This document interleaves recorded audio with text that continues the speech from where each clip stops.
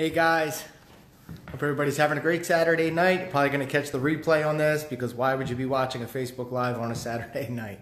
So I wanted to kind of just go over a couple things here uh, that I've had a couple conversations with some agents here over the last few days, uh, past few hours, and just a couple things that I think um, sometimes we're not like we're aware, but we're not aware of. Uh, I'll give you an example. Something simple like your clothing, what you're wearing out into the field. If you're dressed like an insurance salesman, if you're dressed like a lawyer, and you go into someone's home, you go into someone's business, if you're suited up, please do not be surprised if they want to think about it. If they want to go talk to a friend or family member, if they're not ready to make a decision. A lot of times, you may have the right questions, you may have the right information, but a lot of times, if you are not, if you are not putting yourself in a position for success by dressing, this is something simple here, dressing the right way. Uh, uh, So, what do I mean? So, so you have to be dressing to not impress, but you want to dress so that you are not. Um, how do I say? You don't want to make people feel inferior. Is, does that make sense? You don't want to make people feel like I'm dealing with the insurance guy or I'm dealing with a lawyer or not that there's anything wrong with those that that type of person, but people will only do business obviously right with people that they like and trust. If they have the slightest inkling like you're just there to make money and not really to help them, they're not going to do business with you. And a lot of times we teach what to say, how to say it, your tonality, the questions to ask. I'm going to give you specific, like, I'm not giving like wardrobe, I'm not giving wardrobe uh, uh, details here. This is something where if I was an agent in the field, and when I was an agent in the field, I would not wear any kind of suit and armor. I would do in the wintertime. I think it's appropriate to wear a nice pair of jeans and a button down shirt and a nice watch. I preferred brown shoes over black. Black shoes, they sometimes give the message that you're dealing with a lawyer. And, and I, this might sound absolutely crazy. And again, I'm not trying to give you know, fashion advice or anything like that. I know it works. I've done thousands of policies over the years, and I've experimented with this. And I, I've watched others have a really hard time with this. And a lot of times I broke it down and I figured out, oh my God, it's like, it's what you're wearing in the field. Um, so, wintertime, that's good. Summertime, a nice pair of slacks, guys, and a polo shirt with a nice watch and some brown shoes. Lose the black shoes. Women, I'm not going to give you any advice here. I wouldn't know how. I don't know what to tell you. Um, do what's appropriate. Look professional. Uh, you know, you guys have an easier time than, than we do. If you have earrings in your ears, guys, look, again, I'm not trying to tell you what to do. What I'm saying is it could be a drawback.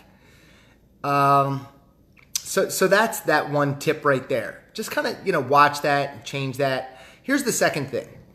Have you ever gotten your car washed? How do you feel after you get your car washed? Do you feel good? Most people feel good after they get their car washed. And so after you get your car washed, you feel good. So if you're heading out into the field for a day of door knocking or a day of appointments, you should probably get your car washed before you leave. Now, obviously, if it's raining out that day or if it's snow, like crazy weather, don't get. Your, I'm not telling you to get your car washed. What I'm saying is, you have to have a feeling of like feeling good before you go out. I always got my car washed. I, some of these things I know are. That's why I said this in the beginning. Some of these things are like, like, where's he going with this? What's he talking about, guys? These are little things that make a world of difference in your day. this is for you to make a world of difference in your day. So if you're not going to get your car washed before you head out in the field, get your car washed.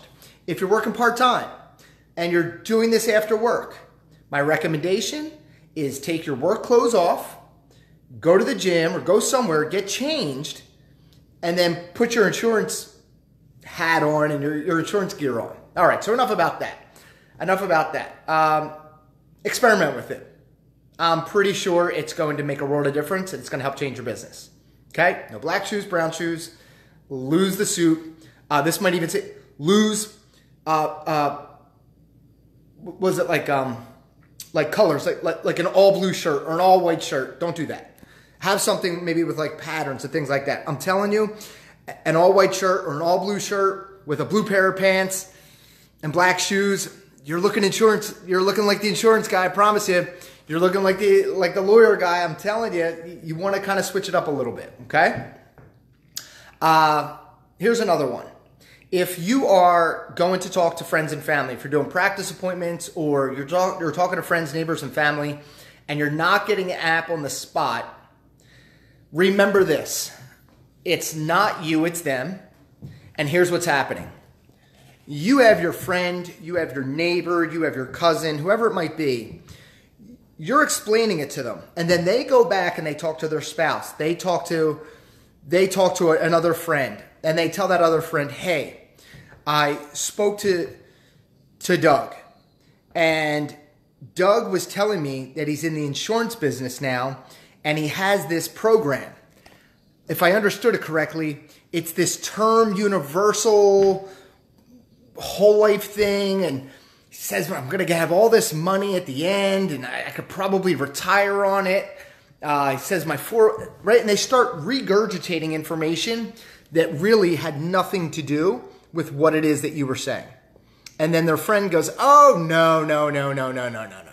No, you don't want to go do that. You need to go see my State Farm guy down the street. My State Farm guy, he got me three hundred thousand dollars. It's got."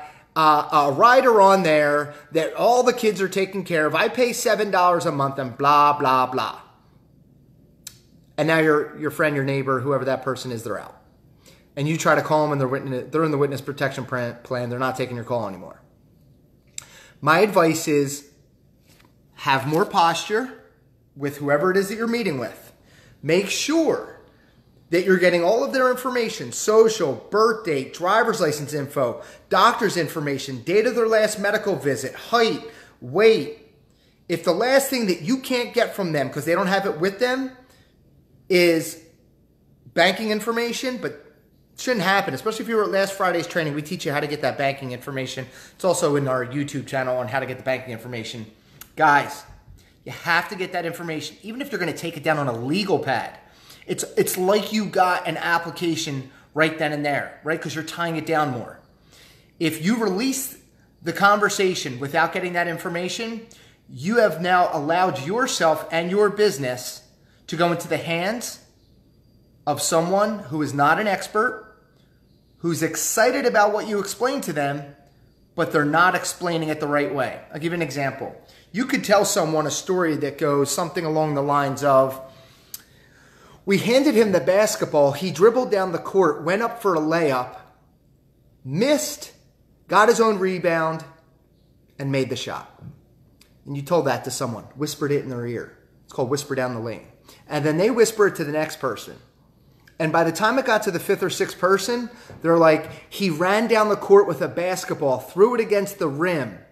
A dog ran out onto the court and then bit the basketball. It's like some crazy story that just kind of like whispered down the lane that is not even somewhere close to the story to how you explained it. Now, is it good practice to be able to ask the questions and do all that fun stuff? Absolutely. Is it a good idea to be able to, you know, uh, practice finding out financial information? Is there money in a mattress? Do you have money in a bank account? What's going on? Tell me about the. Yes, that's what we're teaching. All that stuff is good stuff. But if you're not getting the app on the spot, about 95% are going to be hard to reach a second time.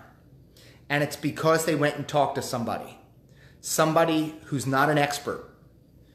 You talk to your friend who's a school teacher, and then they went and talked to the electrician, or they went and talked to the plumber, or they went and talked to their brother who's a lawyer, or their sister who's an accountant, and that person has no life insurance license, obviously. They have absolutely zero understanding of how life insurance works. They they couldn't even tell you what a living benefit is, but they're going to listen to this person over you because maybe that person has more influence in their life, like a spouse, a brother, or sister.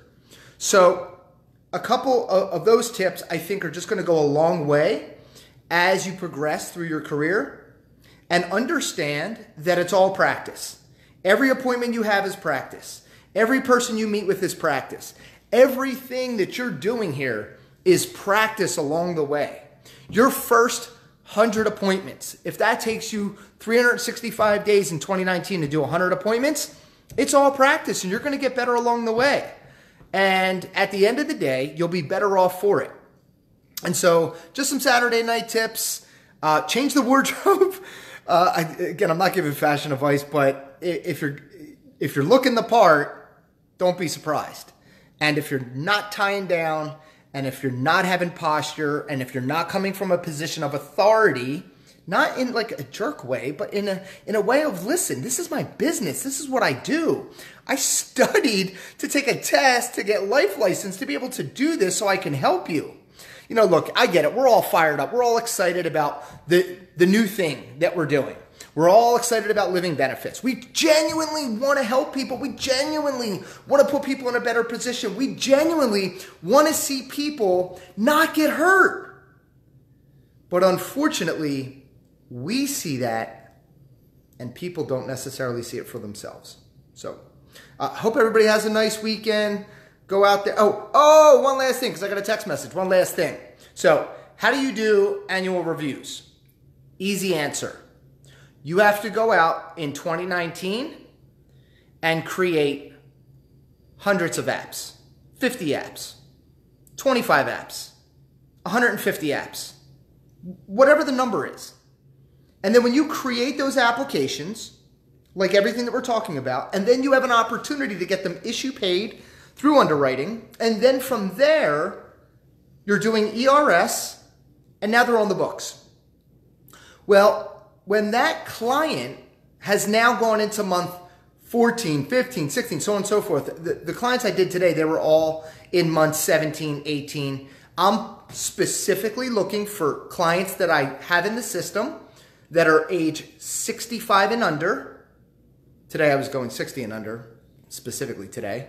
That I know that I remember that we're in pretty decent health, and I'm having a simple conversation. I'm calling them up. Andrew, it's Brett Grossman. I helped you with your mortgage protection, your life insurance, and the living benefits about in July of 2016. Uh, do you remember me coming out to the house on a Friday Friday morning at 7 a.m.? And they go, sure, Brett, yeah, no, have it. Listen, you may or may not remember I told you I do biannual and semi-annual reviews. Came across your information, did the research. A lot of the carriers sometimes, they're willing to give a better premium rate I notice here you didn't have any uh, missed months of premium, no lapse pending. If, if, as long as your medical history has not changed since the last time I saw you, have you been hospitalized in the last year? Has anything changed? Any major prescription history since the last time I saw you? Any change in your driving record? Any change in your criminal history? Brett, everything is the same. And then what I'm doing is before I call them is I'm pricing it out with other carriers to figure out who's going to go ahead and give them a little bit more coverage or the same coverage, but for less money, as you'll see in the post. But you can't just do an annual review because you wrote one policy a month. I mean, literally, you're going to have to go out there and do some work, put the policies on the books. I've got over 3,000 people I can call go, dating back, you know, to, uh, to 2012. And so you got to build the pipeline. It took five years to build up that pipeline. Are you willing to put five years of hustle and hard work in so that you don't ever, ever, ever, ever, ever have to work a day in your life again? Where you're working it on your terms is what I mean. When you're waking up when you want to wake up, when you're putting your kids on the bus when you want to put them on and get them off. On your terms. because that's what it's going to take. But if you go out there and do it in 2019, you put the policies on the books, in 2020, you'll have an opportunity to do some annual reviews. So, guys, have a great weekend. This was a very long running video. I think I was going to go this long. Guys, good to see everybody. Take care.